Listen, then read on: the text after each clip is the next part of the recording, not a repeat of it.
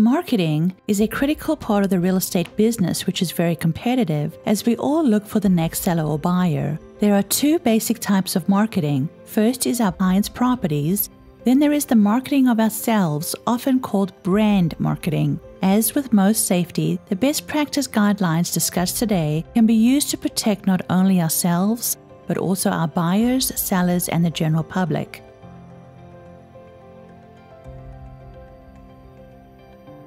As we market ourselves and our clients' properties, we are sending a message about our image and professionalism. We live in a very visual world, and especially our industry. Just think about any other industry that has business cards utilizing at least half the card with a personal photo. We should all periodically go back and take a look at the image we are projecting in our marketing and reassess if that image is professional. Public has an image that realtors and real estate agents are rich. So let's think about that. There are reality shows about million dollar listings. We put our best foot forward and often drive nice vehicles in the local paper, have the latest technology, and dress well for our clients. To the public, we almost have a celebrity status, even though we are balancing our budget to make the next mortgage payment. So, what can we do to be visible in the marketplace while taking precautions to protect ourselves? First, always separate your professional self from your personal self. In general, always limit the amount of personal information you provide in your marketing. Always market to what you do, not who you are. Use your work address, not your home address, in your marketing if you use a separate work location.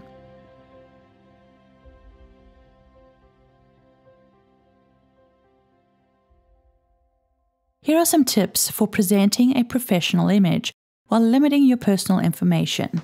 Avoid using full body photos in your marketing and do not show pictures of your hand, as some stalkers will look for wedding rings. Do not wear expensive or excessive jewelry. Never use provocative or alluring photos. Separate your web and social media presence with separate business accounts.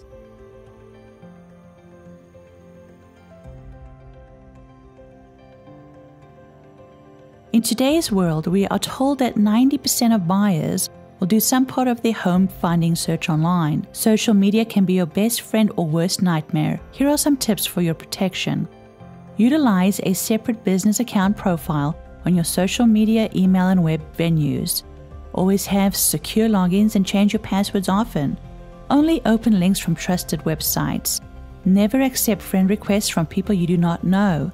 Only use necessary personal information to your professional profile. Utilize different screen names, email addresses, and websites for each profile. Utilize the settings and options to help you manage what people see when they search for you and who can make comments. Never post personal information, including where you are and where you will be going. Recheck your privacy and security levels often. Did you know the number one crime in the US is cybercrime? You can help avoid being a cybercrime victim by the following keeping your account numbers, usernames, and passwords secret, using strong passwords, changing your passwords often. Hackers use information from your website and social media to determine answers to your security questions. Geotagging is a process of adding geographical identification to uploaded media. Strangers can track your movement and determine where you live and work. Stay vigilant about what the internet is saying about you by doing periodic searches on your name or sign up for personal alerts. Let's not forget our clients. When marketing a seller's home, advise your client to depersonalize, remove, hide, or lock up jewelry, medication, firearms, checkbooks, keys, personal schedules when they will be away from the home, other valuables, and remove children's names off of walls. Don't highlight the home as vacant unless required by your broker or MLS.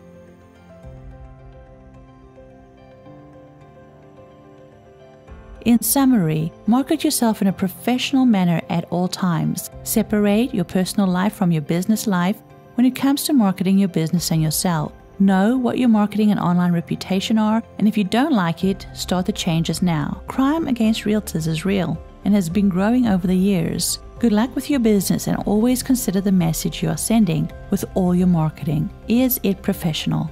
Be safe